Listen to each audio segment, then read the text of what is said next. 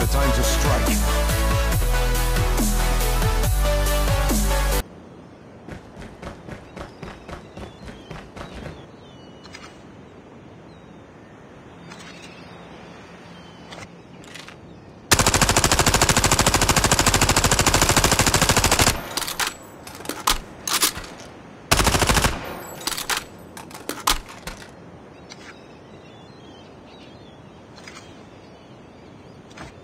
Thank you for watching.